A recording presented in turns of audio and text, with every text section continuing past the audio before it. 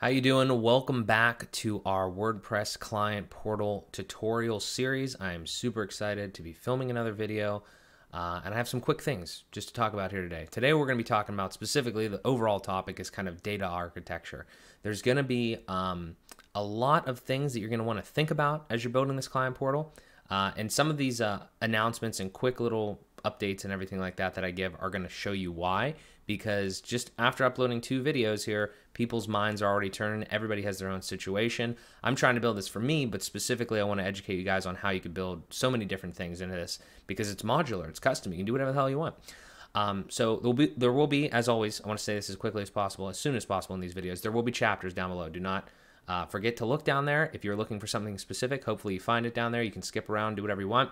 Um, but this is probably going to be a little bit more of a talkative video, at least at first because we need to talk about this. If we don't talk about data architecture at the beginning of our project or close to the beginning, you're obviously going to need the stuff that we did in the first video with the logins and everything like that. But if we don't think about and really assess some of the pros and cons and different ways we can do things, then you can always fix things later. But I always like to say if you give like just like 20% more forethought to something like this, a lot of times, like something complex, then you can kind of think about all those ideas and flesh out a lot of the issues that you're probably going to run into. You'll still have issues; it's always going to happen. But my point is, if you you if you spend a little bit more time now, you can save exponentially amount of time later. It's just been my experience. So, with that said, let's jump over and talk about a couple things that have happened just in the interim here of releasing the first couple videos, the overview and the login pages, and then uh, now uh, filming this video here.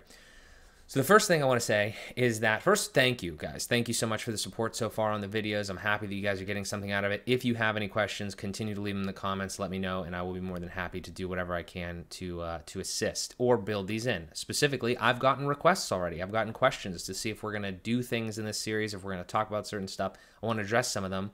Uh, I have addressed them directly, but they're really good requests. So I want to talk about them here real quick. So like one request was like a user submits a listing or info you know, generally via form, and then listings show as pending on a dashboard or somewhere in the portal, and then the ad, and an admin can log in, an admin, sales reps, whatever, can log in and mark them as complete, like kind of just do the business op processing of them, kind of manually in that way. 100% possible. Uh, in the previous iteration of the portal, if you do look at some of those other videos, I've already done something extremely similar in a sense of like a user submitted re, like support request. So I, I don't think that the person that requested that is in the same exact the use case is exactly the same, but the concepts are exactly the same. High level on that is that you're going to create a post type for whatever it is that they're submitting. You have to give it some sort of identifier, whether it's like a like a you know a request or something like that and then the, that request will have fields in it. And we'll get to all this but i'm just giving you the high level just trying to get you guys your, your minds ticking here. So like if you have a let's say a request custom post type and then you have custom fields with all the information that you want to gather. So you take that. Then you go to a form plugin. It could be anything but again we're going to use ws form. You go to ws form and you use the post management features. I'm not 100% sure. I think it's probably called that but whatever it is to, to manage posts. All that means is that you're going to build a form that has the same fields. They don't even have to be exactly the same. They don't have to be named exactly the same, but they have to map to the proper thing. So if you want to get like name, uh, license number, and don't do anything sensitive. Don't do anything sensitive, but like name, uh, you know, some sort of identification number that's not like, you know, personal identification. Don't ask for people's security, social security numbers and stuff, but like something like that, and then another piece of information, like another question or whatever. You just have to make sure that the form fields you have a place to put all that data in the actual custom post type. And then what you do is you map those fields to the custom post type. And then on the submission of that form, it creates a new uh, new post, or sometimes you can even update an old post, and uh, depending on your use case, and then it just drops it in there. And then from there, you assign that like a status. There will be a field in there called like pending, completed, or whatever, and you assign it a pending status. And then on the front end, you're just showing the pending ones I know this is super high level, but you're showing the pending ones, and then somebody can come in and they can be like, hey, okay, we processed this, whatever, market is complete, and then it's complete. I will show you how to do something very similar to that as we go through. But um, again, just to give you an idea and everything, that is quite straightforward for the most part. Um, there's again custom post type fields, form management of that, and then really just displaying the the, da- the data dynamically based off of is it pending or is it complete, and then is it related to that specific user. So that's uh, and also real quick aside here. I know this is thrown right in the middle of the video, but I go live every Thursday at 11 a.m. on this channel, and um, at, at this current time. And there is a recent live stream. I'll put a card somewhere where I literally went over how to um, some of the stuff that we'll talk about later in the series uh, about how to relate specifically users to a given like project or a custom post type and all that sort of stuff and show dynamically and everything. But we'll get to that. Okay. So let's keep moving. Another one was associated orders and like linking orders to projects um, and then updating project status from the table in the form and list. I did this exact thing in the last build and I'm going to do it again here just with bricks instead of like Elementor and everything. So basically the idea is you're going to charge somebody for a project or something or some sort of item like that, which we'll talk about here in a second with all the custom post types. And then you link the, you have to associate, relate orders to projects. So there's a relation there. And then you can update the project status. This is kind of a separate thing, but you can have a table of all the projects that are active and you can update those projects literally directly on the front end, you know, in the, in the portal front end of uh, like via table or form, like kind of like a, a amalgamation of that um, kind of like a web app. Um, I'll give some, honestly, I'll give some very candid thoughts as we get to that point because I don't necessarily like you could absolutely use what we're doing here for task management but depending on how deep you want to get it may be just better to use like an actual proper task management web app. Uh, it really depends on the scope though because if it's just high level projects i do it for that. But i don't know how deep you want to go. I'll show you how to do tasks and things but but um, but just keep that in mind. Again, I'm not trying to tell you how to build the exact portal that you want to build. I'm trying to give you ideas in the way that I build mine and uh, the different things you can do. So there's that. Relations, just in general, is uh, kind of a new concept for some people, uh, which it, can be they can be kind of confusing a lot of times. But really, you're just relating like a, a post type to another post type. Maybe you're relating users to a post type and uh, we, I think we, I don't know if we, did, I don't think we did a little bit of that. I did that a little bit on the live stream recently. I don't think we did that in, in the videos and everything yet, but um, we're going to talk a lot about that moving forward, just in general. So there's some questions there, and then just past transactions. Uh, I'm not sure exactly, specifically what the person that asked about that was wanting, but with WooCommerce, and I've also been looking into SureCart, but I don't know if we're going to get there because my my past portal was built on WooCommerce, and I don't personally have any real issues with it. It works fine.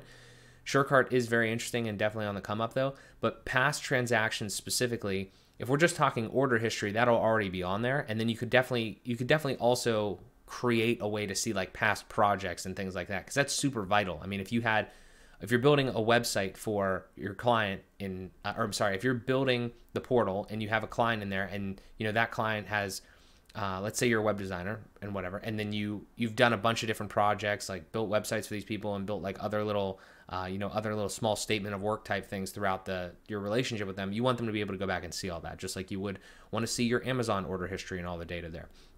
Definitely possible definitely got to talk about it. Okay so all that stuff out of the way announcements requests everything like that like i said thank you guys so much for the continued support. Uh, let's get moving on this next one. So where we're at is we built the login pages so that people can log in, create an account, stuff like that. And we'll probably return to that as we continue to tidy things up, but the features and functionality and everything works there. There's also content restrictions. So somebody can't just access like the internal pages, like the dashboard and everything like that without logging in or registering. They have to have an account. So we we we take we took care of that. Again, if you need more clarity on some of those things, we can circle back, but watch that first video if you haven't uh, for that. What we, what we need to talk about next, I feel like the next most logical thing here is kind of the dashboard, but really the dashboard is kind of like your homepage on a website, right? There's if you can't really build a dashboard until you have other things that are going to go on the dashboard because the dashboard is a is a is a hub for the rest of the items on the website, okay? And in our case in the portal. So what we need to know, and, and really this is again, like I said, this is a very subjective video. I'm not gonna be able to tell you how to build your portal. You need to think about it. I'm gonna give you as many ideas as possible um, and as many um, specifically the data architecture, not necessarily all features right now. And we need to talk about how to do that at a high level, and then we can jump in and we can do some of it. So, understanding and deciding on relations and features and things like that. The first thing that you have to start with, you absolutely have to start with this, is users and user roles. You don't need to have every user role created. You don't need to like fully flesh this out, but you need to have an idea. The reason you need to start here is because it is a portal. People are logging in. Like this is like a, vital piece of this. If, if it was just a website where you know it was like a more of a marketing website where you had custom post types and everything, you don't need to worry about users. But when there's users involved, it, things get a little more complex. Not too much more. They're kind of just like a special. I don't really know if they're technically a post type, but they're their own thing, right? They're their own. Um, we'll call it just like an entity. They have effectively a, a, post type with a login and everything like that uh, related to it. But the reason you have to do this is because people are logging in. They're going to have passwords. They're going to have login information, things like that. We've already built these, uh, you know, registration and everything like that. You need to start there because it's a very vital part of this. They literally cannot, you cannot access this website without being a user. So we got to start there. What kind of roles do we want? Well, you definitely need an admin, which is probably yourself or maybe other teammates and things like that. But somebody's going to be the admin. That's easy. You know, we're going to be in the back end. We know what we're doing. We're, we're doing all this stuff. The next one is something that you may or may not need, and it is team members. And think of team members like this. Think of an actual think think of an actual. Think of like a like a full-blown web app type thing. If you were going to build one of those, you would probably have different views for who depending on the user role that is logging in. There is probably potentially, at least in our case, there is somebody that is logging in, like I said, as an admin. They're going to see everything. They can touch every single feature. They can change every single setting. They can break the website. They can make it better. They can make improvements, whatever. Okay. So that's us. Easy.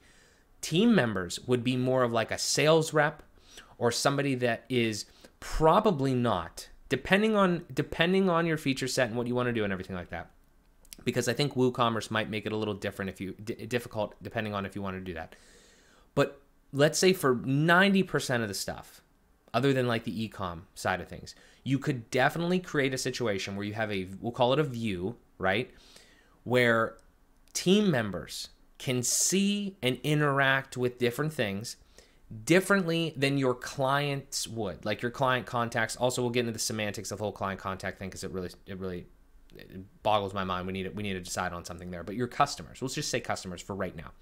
Team members versus customers. Think of it as when they log in, they're going to see different things because they are privileged to different items of the website and different like roles and, and, and things that they can do, right? So the question you have to ask, and again, if it's just you right now, you don't need to worry about this. But if you have other team members, do I want them in the back end of WordPress doing different things? Which you could, which we could talk about that too. I mean, you could you can lock down and restrict things in the back end. But my point is, if do you want them there or do you want them in a front end? Do you want them in a front end of that is more like a client experience but gives them more things? Maybe they have just special pages where there's literally like WS forms that have more post management features and they can play around with that. You, I would actually say that's more like kind of phase two, in my opinion, unless you absolutely need team members in there right away. What we're going to talk about, we're definitely going to talk about first is the client part because this is a client portal, and I'm assuming a lot of us probably don't need have a need for team members like a team members view. But I did get that uh, question kind of from somebody, and I was like, that's a really interesting thought that I personally haven't even done yet, but I the, the concepts again are very similar. So we may get to that later, not today, but you need to think about that.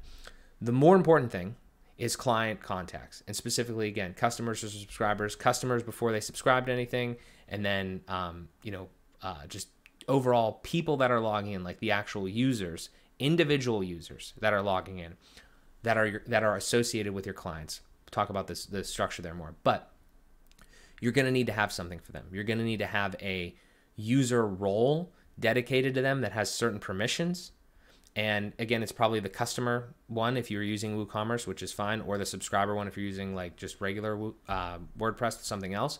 But you need to understand that. You need to have you need to have an understanding of those are that user role, and they see and interact with the website in a certain way. Okay. The next thing is, and actually I'm going to switch over now because this is going to give us a, a, kind of a slightly better view. So I kind of put this together. It's a little, it's a little shoddy here, but I apologize. But this will make more sense. This is super. Again, we're throwing stuff at the wall here as far as like what we're thinking about, how we're processing this, and everything's going to come together as we continue to build the pieces. But I want to give you the information on the high end first. what we talked about users there, as you can see. The line, each one of these things, we'll say, let's start here. Each one of these boxes is a custom post type slash like a user, you know, a user post type, whatever you want to call, however you want to call that. Each one of these things is like a an a type of data, like an object of data that obviously has instances within it of like an instance of a project, an instance of a task, everything like that. But they're custom post types, more or less. Okay. When we're talking about the data architecture, it's in that way. We talked about users two minutes ago. The first question that I would ask myself is, or one of the questions as I'm starting is, can users have multiple companies slash websites? Can projects belong to multiple users? And I'll get into what I mean by that. The, the a, a big question that you have to ask yourself off the bat is, honestly, what are you? How are you building this? Like, why are you building this portal? Meaning, and and what do you do? Who are you building it for? Who's your main Who's your main client? What's your business like? Again, I'm the one making these videos, so I'm just going to use mine as the example. I have a web design business that I'm building this client portal for. Okay. We are basically a digital marketing agency. We provide web creation, website creation, which is the whole pro. I call it website creation because it is design, it's development, it's UX, UI. Okay. So website creation, think of that from zero to website. Okay. Then, or redesign or whatever, but website creation is one offer. Then we have website management, which is your website care plan, hosting, security, whatever the hell you want to call it. Okay, but it's it's that thing. It's a subscription. The first one was like maybe multiple payments, maybe, but it's ultimately like a start and an end. The and then with uh, website management, we have a subscription based model where we're providing things every month and they're they're paying every month. Okay. Uh, also, other things that we're specifically my agency is is getting into is like SEO, pay per click, things like that. Most of the time, those are going to be probably subscription based, you know, whatever. And then the other piece of it would be not necessarily website creation, but very similarly tied to that, just one-off projects. Think about it like as you built a website for somebody, and now they you're they're on your website management plan, but you need to charge them, right? So you need to charge them for you know they want a new page or they want you know a new uh, section of the website, or new some new some some new dynamic content or whatever. So those would be like one-off projects. I'm just giving you an idea how I interact with my clients. The next thing that I would so think about that first. Think about how you interact, what's your offer, and everything like that at a, at a high level because that's going to play into some of the things like the products and the projects and and those different types of things. And then another question I would ask is who are your clients? Now that's a weird question. I don't mean I don't mean like the industry. I don't mean the specifics that that like you know the names and stuff like that. What I mean is, are you B two B, which you're pro- you probably are, but like, are you B two B? Are you B two C in one way? Do you need a layer in between the users and the projects? Meaning, if I'm looking at this this outline here, okay, the way that I process this in my business, and again, adapt it to yours. If you have a question, let me know if you want a recommendation. But I, again, we're not doing this, you know, we're not doing this live in person, so I can't, I can't do it right now. But the way that I process this, you have to have users, no doubt about it. Somebody's logging in. I want the user to be a person. I want the user to literally I mean, again, you can't you can't police for this every single time, but the way that you pitch this is I want the user to be a person. I want it to be John Doe at mycompany.com, and I want the first name, last name of the actual person. I want a representative of the company to be the user. Okay. I don't want them to use like some sort of like weird shit where it's like in the first name and last name field of the user, they put like, you know, company name or something. You know what I mean? Like whatever their company name is. I don't want. I don't want that because that's not how the first of all, it's not how the user thing is supposed to work. You're not supposed to put company names in your first name and last name fields in WordPress. It's supposed to be a person. It's first name and last name. That's the first thing. The second thing though is that I just in the short five years, six years that I've that I've done WordPress website design and, and all these different types of projects like this, I've already had clients just in the business thing, the portal, yes, but in just in the business framework that I've that I've dealt with. I've had many people that we'll call it John Doe has John Doe is associated. John Doe comes to me for website one. Then he comes to me for another website. Then he comes to me for a third website. So John Doe, as a user, as an individual, is paying me for multiple websites. Okay? Now, it depends on how you want to go with it, your structure wise. But my point is that I can't, I don't, it doesn't make sense logically to have something where user John Doe is directly related to the projects that John Doe or the products that John Doe is is is giving me, is paying me for, that I'm providing for him. Doesn't make any sense. There needs to be, in my mind, a middle relation. And if you're not understanding relations, just like follow the lines here. And I'm, I'm trying to explain kind of the way that my mind works about this. That user, John Doe, has to have a middle relation. And that middle relation, he has to be related to something, and then we have to relate that thing to all the other stuff. I mean, remember, we are going to be showing projects and products and all this sort of stuff depending on client. If your person, if the contact that you're talking to, if the if the individual representative or the user that you're talking to has multiple websites or multiple companies that they're associated with, then then you're then then then now you're like confused because if this wasn't here, then now it's like users to projects and users to products. And it's like, well, John Doe has like company one, company two, and company three. And I'm not exactly sure what product and projects these are all for. So I think you have to have something like this. Unless you literally just deal directly with people and you don't care about, uh, unless you literally deal directly with individuals and you don't care about that, uh, I think you have to have something like that. Now, here's where it gets a little sticky, and I'm honestly going to delete this clients thing because I personally hate seeing the word clients because it's to me, it's quite confusing, the, the terminology there. I like users. And if anything, we could say that users are clients, but I, I just don't like the word clients. Again, when you're dealing with this, I'm, al- I'm already screwing it up. I apologize with the semantics. I'm trying to get to a place where we can just kind of be straight with the with the wording because language is really important with with stuff like this. So users should be individuals at the core of it. Doesn't matter what else you call them, I guess, but they need to be users they those users are probably going to be associated with a company or or a product like a like a like a product type, which is why websites is written there. At minimum, you probably need something like this. Okay? And I would actually probably recommend for most people, this is kind of how you're going to go, but I'm going to give you the, the other way that I've that I've done this in the past. Your users are probably going to be individuals and then when you write up a contract, you're not doing a contract with the user, you're doing a contract with a company. Most likely, I would say. Right? Adapt it to your own thing. But every time I do business, I do business with companies. I'm a B2B business. I'm a business, I'm doing I'm providing business services to other businesses. So on my contracts, I do have a person. I do have like a CEO or a representative that ultimately signs it. But my actual client, my actual person that I'm interfacing with is a company. And I want to make sure that's a, that, that's a very important distinguisher when you're doing this because if you your users are going to be related to those companies. And now what we can have is we can have John Doe and he could have company 1.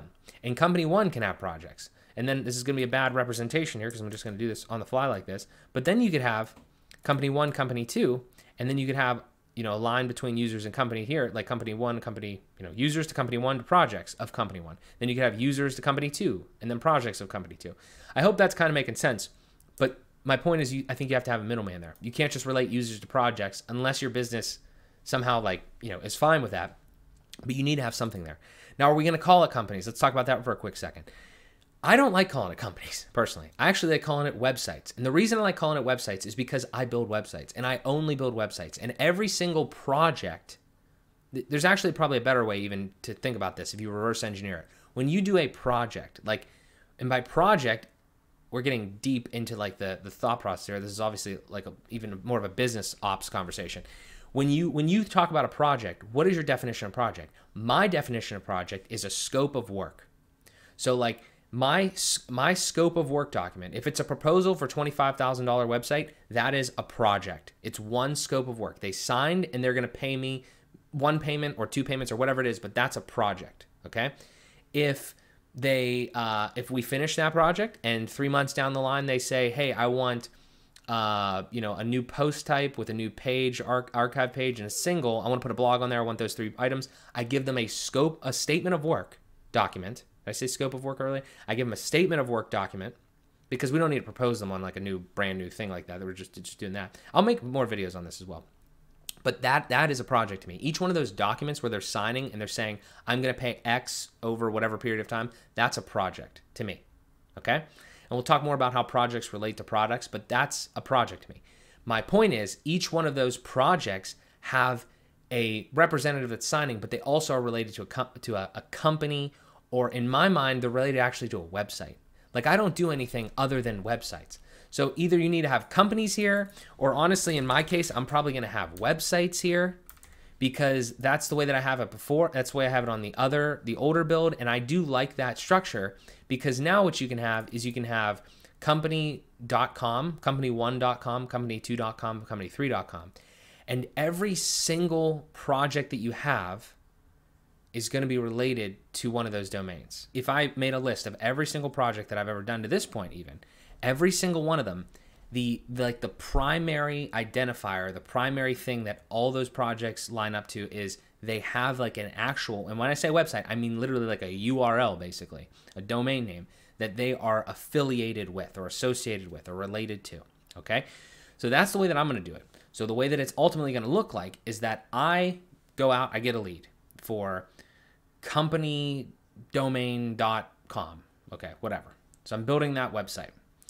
Also, another random aside here every single website that I have is going to have a website management plan tied directly to that. It, that's basically a one-to-one relationship. We're not it's not an actual real relationship. I'm just saying that the way that most people sell websites is I'm at this domain name, we are managing that website with hosting, security and all that sort of stuff. The care plan. Care plan is one care plan to one domain. Normally, I've never seen it done a, a different way.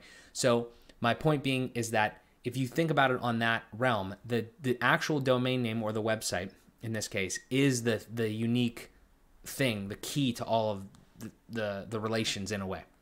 So I'm going to do websites. You can try companies, you can do whatever. Um, the way it works is that you get a new lead. The lead comes in, and we'll worry, we'll worry about the deep onboarding process. I really want to talk about that because it's going to be different for everyone later. But the lead would come in, it would be a company domain name.com. Then you would you would create that website on the you create that website post type and everything like that on the the client portal right? So you put in the information which we didn't get to yet we'll talk about that. And then you send them the thing to get them to, to be a user. You you relate their user to their website. And then that's the key. I'm trying to give you a visualization of how it's going to end up looking. And I'll, I'll actually i will show you the actual portal example the old portal example here in a second is I have it up I have it up on this tab here. The user is going to be related the user or users. Maybe there's like a team of 3 people for the website that you're working with and they want to all be related. We can do that. We can have 3 users or whatever related to that one singular website. We could also have multiple websites related to the same user if they want to do that. If you have a client and they've you know they have three businesses and you're doing the, the websites for all those businesses there is a separation there you could and if, if, it was me, I would probably have three different logins because I don't want to commingle different things. But if that business owner just wants to have, hey, I just want to have one login and I want to be able to see all my websites, you can do that too. So that's how that'll work. You'll have one user login and they'll be able to see three websites. The, um, any websites that they're associated with, they will see. That's how it is. And, and you set up all those relationships and we'll do all that. And then similarly, if they're if they're associated with website A, they're only going to be able to see the projects associated with website A. If they're only if they're associated with websites A and B, they're going to be able to see the projects for websites A and B, and it's all going to work and be great. And then it continues down the line, uh, and we'll talk about products and, and all that sort of stuff. Uh, let me give you. I haven't. I don't think I did this in the in the beginning video. So let me give you a quick a quick little overview, super high level of an the actual portal that we are currently using. Okay, so you can see the way that I laid this out, and I really do love the structure. It's just built in Elementor, and there are some things that I'd like to upgrade. So, but overall, though, this is I'm trying to give you a visualization because I've been talking a lot, and I appreciate you sticking with me on on what's actually going to happen here at the end of the day. Because it, it will I don't know if it'll look like this, but it'll be very similar in in structure in a lot of ways, at least for our business. This right here, as an example, is generated. I am logged in as my it's an admin user, but ultimately just a user, we'll say. Let's assume that I was a client in this case. Every one of my clients, their name comes up there, info, whatever. And then if they have one website, it shows one website. If they have no websites, it shows, oh, you don't have any websites yet. If it's if it if they have three websites, they all show up here. Okay, that's one small example, right? And then if you go over to websites, okay, and that's why in my case again, it's that's the unique thing. You could say companies, I guess, if you were if you were dealing with a different type of portal, but in my case, it's it's websites. If you, if you again, if you want different thoughts there, I'll give you some recommendations on on how to play it, depending on your your structure. But in my case, it's websites. So then there's a uh, thing here. I don't want to go too far down because there is other information on this page, uh, client stuff and all that. But this page now, okay, is your websites page. Now, if I'm logged in and I'm a client and I have multiple websites, I'm going to see this is a loop and this is only showing the websites that are associated with me. So in this case, it's just the Find a Tech website, right? And it has like active projects, completed projects. We'll, we'll talk about all this. Don't get don't get crazy yet with all that, okay? But the the thing is, if I didn't have any projects, it wouldn't show any. If it, it was just this, then it would it would be this. The reason I'm showing you this, okay, is because you need to understand and fully figure out what your websites is going to be. If you're just like me, maybe it'll be websites. If it's not websites though, if you're doing something else, then you need to figure that out. You could call it projects. You could call it projects and you could just list all the projects. But in my mind, especially from my experience, users might have multiple bigger things that they're associated with, right? If they have multiple websites in this case, or multiple companies, or whatever, then they're going to want some separation there to some degree. And uh, this just makes the most sense for me. So that's what we're doing. Hope that helps a little bit. Let's get back to this uh, diagram real quick, just tidy up a couple things. So we get to this point here where we're talking about projects and products, and I have literally been racking my brain off camera here for the last like 30 to 45 minutes because I have been doing this one way and it's worked well, but I really want to improve and also give you guys some different ideas. So I kind of reframed some of these little slides here and I'm going to go through it. Uh, bear with me. If you pick one of the options that I don't end up kind of picking here, let me know. If you want more clarity on some of this, let me know. But I do want to kind of like wrap this section of this up because I want to make sure that you understand the data architecture and you make your decision. But at the end of the day, I'm just trying to give you these ideas because whatever you decide is going to be pertinent to your own business. And I'm just putting in, like I said, putting a little bit of time in, more time in on the forefront because hopefully I'll think of all the different things that could possibly go wrong. Not all of them, but a lot of them now, and then I won't have to deal with them in the future. All right, with all that said, let me explain what I've been thinking about here with these illustrations and some th- interesting things that I found. I have been doing this one way, and I will come to that because it's similar to the way that I think I'm going to end up doing it, but that was what we've been seeing here. Okay. I added a couple little relations in here. We'll talk about that in a second, but I've been doing this one way. Here's the reason that I stopped and thought about this for like 45 minutes is because depending on who you are, how you operate, and everything like this, this might be something that you want to try. And I'm going to explain exactly what it is. The main thing is with projects and products in the situation that I'm in, I could even see myself using this, but I don't know because it kind of does limit you moving forward. What I'm what you're looking at here is users and websites work exactly the same, but instead of websites being linked to something else called projects, like a new custom post type called projects, it is instead linked to the products, like the main products custom post type that WooCommerce gives you. Now, there's a lot that goes into that because I don't, you know, products starts to get confusing. It's really more like services or projects because everything would be in there. It would be literally a title of a product, the description, the cost of it, the it would be the thing that you're adding to orders. So it would be a line item. It would also though be it would also have to have the fields that you need for the projects, like for to, to manage a project. It would have to have the uh, you know the status. It would have to have maybe a completion date or a start date.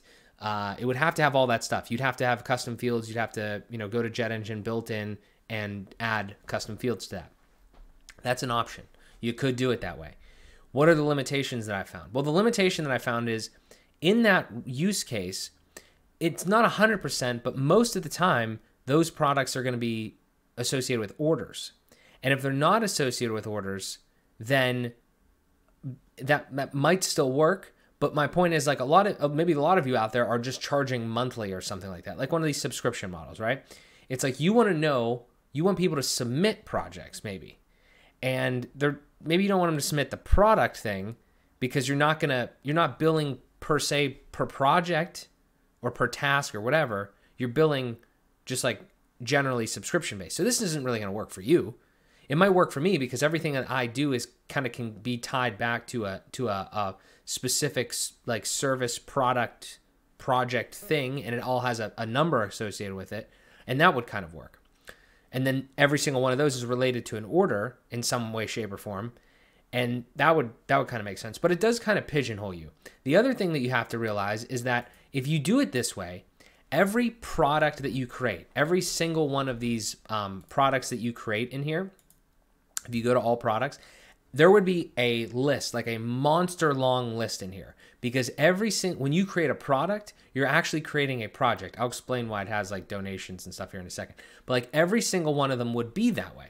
So if you're seeing why it says donations, it's because I also looked up how to re at that point it, they're not products anymore they're not they're projects or services they're definitely not products because that's going to be too confusing so i was thinking how do you rename the you know is there a way to easily rename like this so i'm not getting confused?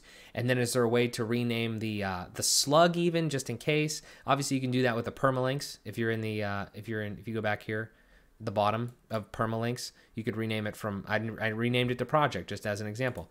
You could rename it to project you can name it to you know services whatever you wanted. You could rename it to um, anything there. And then i found this little piece of tech this piece of uh, code here where i don't know if this is really the best way to do it but they just translated all the instances of products to in this case donation. I just i just threw that in there just to, just as an example. So now you could say services or you could say uh, project there. Okay well now we have we have basically we haven't changed it though because if you look this still says product up here in the in the url bar. Like it's the the the the then there's no way because that's how WooCommerce is designed their work. There's no way you would actually fully change it. So now you're like, eh, that's kind of like a half baked solution. I don't really know if I want to do that. You know, that's kind of weird. But it is an. I feel like it is an option. There, there's probably other things that you would have to deal with, but I feel like it is an option.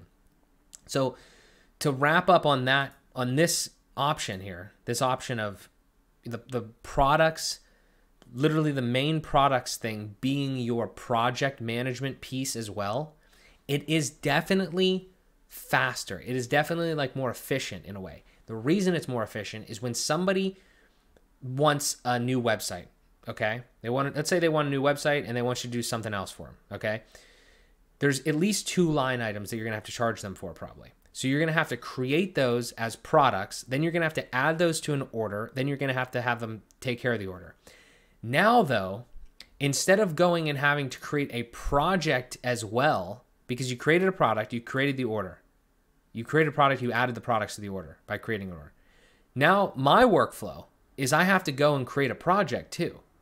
That's not, or multiple projects. And that's not like ideal because uh, it's a lot of clicking, it's a lot of things to manage. So I don't necessarily know if it's good or bad or indifferent. I hope I'm not confusing the shit out of you guys, but I'm trying to give you some ideas here. Again, on the forefront before you before you dive in. So that is kind of the the situation here. Is you could go this way, but I don't I I just I think there's unforeseen consequences, especially if not every single one of the things that you do is attached to an order. If you're I mean honestly you should probably just completely negate this if at any time you're going to be like I I want people to be able to submit things and I'm not necessarily charging them directly for that line item. This way is just a little less flexible. It's a little less clicks. I don't know what it's going to do to the database if you have literally thousands, at some point pot- potentially thousands of products because you can't reuse them because each one of them is its own entity in a way. It's its own project. So every single time you're doing that, you're creating a new product, which is not ideal because that's not something that I like. So let's move on. I hope that was uh, somewhat under understandable. Okay, let's move on to this. This is exactly what I'm doing right now. Okay, I have users, I've related to websites. Websites are create are related to projects, one to many. So one website can have many projects, but projects can't have like one project can't have many uh like websites. It's it's like, you know, like that way.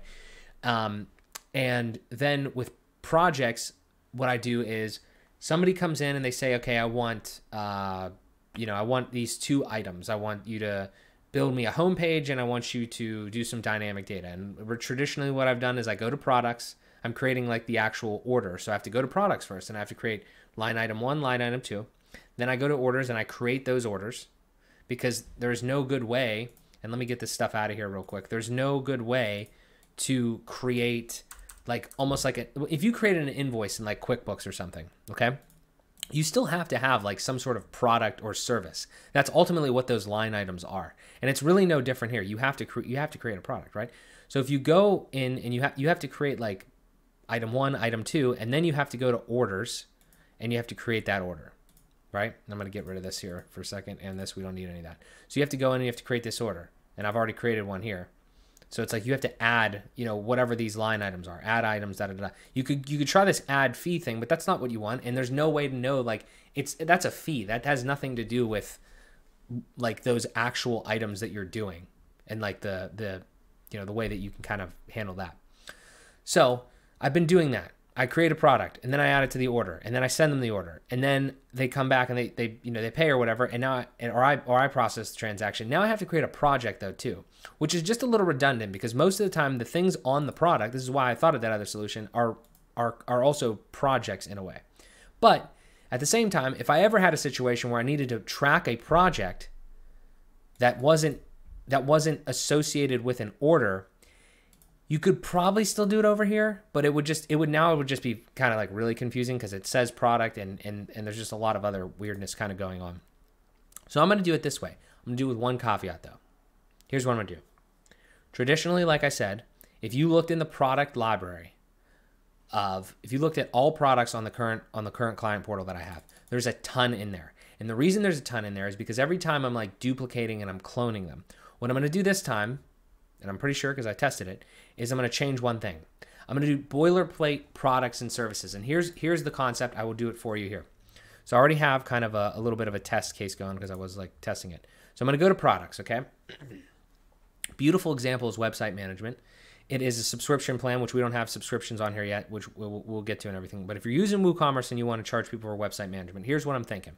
If you go and you create a product and you call it website management, okay? So we'll go in here and we'll say, you know, you could say whatever it is, whatever, and you could even do something like this too. Like you could say like tier tier one.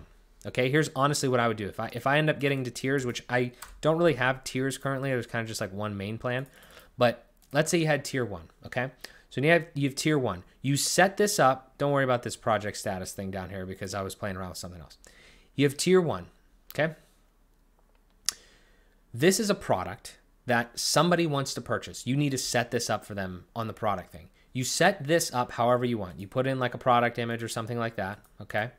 You set up all this stuff. They're not going to see this. They're not going to see the um they're, they're not going to see the the actual uh, shop or anything like that. There's unless unless you again want one-off items or anything like that. They're not going to need any of that. You can come down here and you can say like for a website category, you can say uh, management if I could spell, okay, thank you. You could say website management, okay, and then add new. You come down here, you click virtual. If it was a subscription product, obviously you would configure some other things, but for the sake of this, we're just doing this. And you, and then here's the thing: if you click, if you put a price in, like fifteen hundred dollars or something like that, and then you add this to an order and you lower the price, it's going to say a discount by default. You don't want that. Just make it zero. Okay, stick with me. Just make it zero. We have a product, standard product. Okay, cool. Great. Let's go back to products for a second. Let's do another example real quick. Let's say uh, what we'll do is we'll duplicate this real quick and we'll just say, we'll say tier two. Okay. And we'll get rid of this. Great. And if these are all the same price though, like if you if you are if you are going to make these all the same price, you could put the price in. This is a bad example because this is probably something that's on your uh, on your thing every time on your on your website and like maybe it's all the same price. So you could for this but i'm going to show you i'm going to show you a different use case right now. So now maybe you say okay well we're going to line item this out on this order and one of the things that we're going to do is ui design for you okay? So it's going to be virtual. The price is going to be zero. Uh, you could have probably cloned that other thing but i'm going to just go like this and grab all this stuff again. Then i'm going to add another category as well. I'm going to say website creation in my sense because that is a product that is under that category in my structure. Okay. Then we're going to go back to products one more time and we're going to just do one more and then I'm going to show you some stuff. So UI design, we're going to clone that. There's another item. There's there's a few more items obviously in website creation. Actually, let me go this first. There we go.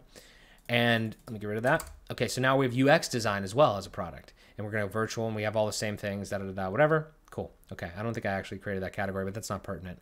Okay, so here we go. Now, if we go back to the products one more time, after we've created all that, we have UI design, UX design. You could have uh, copywriting in there. You could have whatever. All right. But these are your base services. Like think of them as your line items that you would show on an order. Okay. Your website management, obviously support, uh, you know, like support or you know management things that are subscription based, and those would be on there. And you could even put like you know one thousand, you know one thousand a month or whatever whatever the hell you have. Okay, but UX and UI. Okay, what if we want now to create an order? Some we we gave somebody a proposal. On that proposal, we had UX design, UI, like line itemed out, and I'll show you my my uh, proposal as well, just kind of get an example of, of what I'm talking about here. But if you line item your things out and you don't just like throw up, I mean, you could even just say website creation and do the same process. But I'm trying to give you a deeper a deeper idea here. If you go like this, okay, if you have these here, and then you go to orders, right? And you say add a new order. So somebody came in, you gave them a proposal, and had a bunch of line items on them. Two of them were UX UI, and you know they each had a price on you now are going to create that order within your portal. You could do it like this. You could do it more vague if you want. If you're, you know, if you if you don't want to show the the proposal, I mean, you could. I'm going to attach the proposal to this. You know, like they're going to know that this order had this proposal on and everything like that. But if you want to do it like this, what you do is you add the products, and then you can say UX, search for it, and then design here, and say UI, and add. Okay, now we made them zero. Well, that's not good. So we need to edit the item. And we're editing like this instance of the product. We're not editing the whole thing. We're editing this instance. So let's say that UX design was, I don't know, like some random number. Okay. And then let's say that UI design was some other random number. Okay. Save. Now what we've done is we've lined item this out on the order. So we can actually see those two things. They were products, but they were boilerplate templated products basically, and we just brought them in and we line item line line item them. I can't speak. Line itemed them and gave them their own price specific for this project, for this for this order rather. Okay, for this individual that is this individual's company website that that we're doing this for, right? And then if we go to like customer payment page, obviously it's going to give you the stuff up here, but you can see now this is what your people will be greeted with. Ideally, they would see this on their proposal and then they would click on order and they would see the exact same thing. So that's the idea there. And then if we go to products, just to check, right? We go back to products and we see that our main boilerplate products have not been touched. I actually believe that this is probably the best way to do this because it doesn't we didn't get to the project section because it's it is separate. You want to bill for the thing and then you want to build like the project piece off it. Cuz honestly too, the more that I think about the projects don't necessarily have to completely align with what you're doing. They could, but they're not going to necessarily completely line up with the way that you're billing people or the way that you've structured their, their actual order and their proposal. There's a little bit there's a little bit of a nuance there for certain. It is probably better to handle that. And the other thing is if you do take your main project management outside of this, then you don't need it. It, it just simplifies it a lot more. So I'm definitely going to do this from now on. I'm not going to be what I used to do in the past, like I said, is I would write website management and I'd write literally the domain name right here. I do want to do one other thing, but I'll explain that in a second. I would write the domain name right here, and then like I would have 15 website management domain name like things, and they would all be clones of each other. It's not necessary. Just do it like this, so you can so you can manually change like the different prices as they order them, but the actual product could be the same if you have some level of consistency in the way that you service your clients. Okay. If not, you could do it all independently as well. But this is a really neat trick, I feel like that.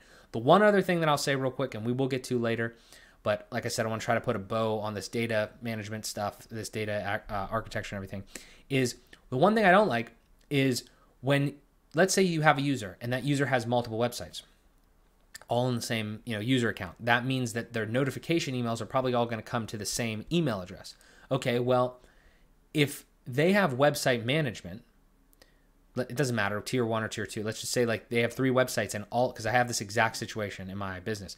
They have website management they have tier one on all of their three websites that they own in the same you know user portal account. Okay well they're getting three different emails saying like this order went through for business one two and three well when when they see the email i want to make sure that they know because it's coming to the same person and the same user i want to make sure that they know that this instance of the website management is tied to this website. Now, it works on the back end, but making that work in WooCommerce is probably going to be something like where we have to add a custom field and make sure that's shown up that shows up in the uh, in the in the email at minimum, or change the you know change the the header of the email or something to the you know your invoice for xyz.com, something like that. But we'll get to that. But that's my point. Is the only the only issue that I foresee is if the products don't say that in them because they're more templated products that you're pulling in and just adding the price to. That's a little bit different. Something that we'll get to, but um, I really like this approach. Again, here are those. Uh, you know, you can kind of pause the video back when I was talking about these to, to pick the uh, the kind of the structure that you want. But I'm going to go with this one because it does lend itself to a lot more flexibility, even though there's a little bit more redundancy there. But I do think that ultimately there is there's there's ways around that, and this is this is the optimal approach for me. I don't know. You let me know what you guys think. Uh, if I'm just crazy for going this deep into this or whatever, but uh, I'm just trying to give you guys the options. Okay, we have talked a ton in this video. It is getting long. I want to try to wrap up this part, and we're actually going to wrap this video up here. I know it was all talking. I apologize. Like I said, hopefully you looked through the timestamps or whatever. The rest of the videos will not be like this because we actually do need to do the work, but this was really important, I feel like. Uh, hopefully you got some value out of this. At least, it, you know, maybe it sparked some thoughts in your mind here. But let's talk about the last little bits of this because that was the hard part. That was the really important part that I really think that you need to consider because if you don't do that now, you're going to be just annoyed later. So the other thing is tasks related to projects, right? So if we're going with this approach, we're going to have these projects and they're and again it's it's subjective like what is a project what is a task how do you want to set that all up but in my mind, a project would be like a big initiative. So we're going to create this website. Okay. Well, all right. So we're going to create this website. It's and it's going to have some level of status so the client knows this is when it starts, this is when it's scheduled to end. When it's over, this is when it actually ended. While it's going on, we're going to know if we're at in review, you know, in progress, whatever, da da da da. And then you could build in a couple other things with that, depending on what your needs are. You could even do probably a specific link in a way if you wanted to to upload files to you know Google Drive or whatever. You could do that on like a global setting for the whole website, but you could also do that uh, for project based if you want. I mean, depends on what you guys need and what we want to do. Honestly, for me, I've done it where it's just a shared Google Drive link, as you saw over on the client on the other client portal. It was like um, actually, I can kind of show you right here if you go to websites. Um, and we take a look at this. So like a shared Google Drive link. So you put the Google Drive link in, uh, in the you know custom post type specific to that website. That I mean, again, it, whether it's a website or project or what have you, in my in my mind, it's always a website because you know these are the files for that website, regardless of how many projects we have for them. And then obviously you can show all their documents here and everything. And the documents, more specifically, the documents are probably going to be related to there's that there, there's not going to be documents a document post type because it doesn't really make sense. The documents are going to be uploaded directly to most likely the projects or maybe the orders, or maybe both. I mean, it really depends on where you need a document. If you need a proposal, it's probably going to be an order because that's where it's going to be. Or, or if you decide that you want to do that as a project, that's where it's going to be. But definitely for projects, you know, if you if you get to like statement of work where like you say what you're going to do, but you're not billing them specifically for that, that's possibly a project. You just, I mean, it is very difficult for me to build this to build this story with everybody in mind. There's just too many too many different options. But my point is like we, I'm going to show you how to do these, and you decide what it's best uh, for your way. Subtasks and tasks and subtasks.